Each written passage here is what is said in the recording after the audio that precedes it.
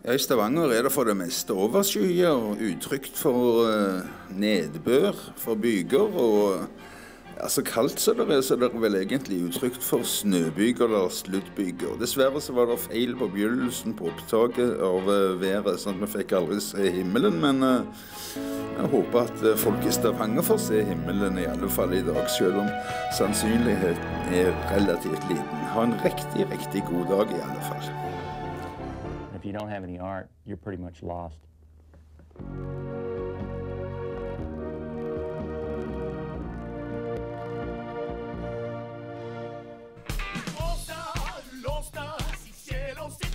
Altså Nå har vi jo kommet i en sånn situasjon at nå må jo noe gjøres.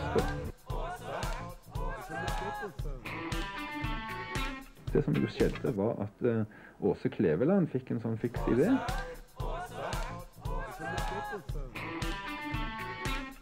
Sa at nå skal det kun være én lokal-TV i hver region. Det er hedenskap.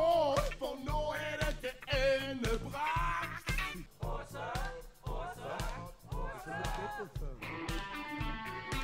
Og det er hedenskap. Hedenskap holdt ut.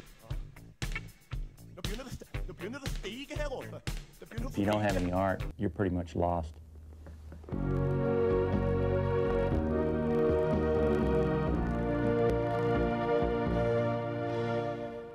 Hedenskap folk ut uten. Det